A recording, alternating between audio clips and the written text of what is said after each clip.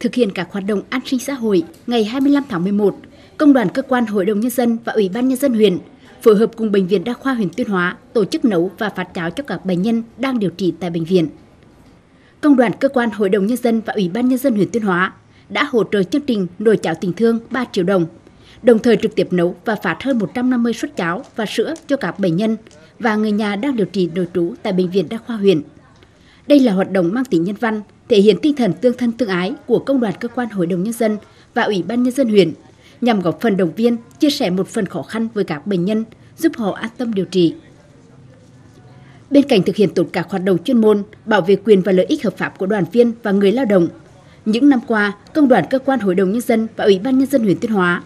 thường xuyên thực hiện các hoạt động thăm hỏi, tặng quà cho các hoàn cảnh khó khăn, học sinh vùng đồng bào dân tộc, hỗ trợ đỡ đầu trẻ mồ côi, góp phần cùng cấp ủy, chính quyền các địa phương thực hiện tốt công tác an sinh xã hội trên địa bàn.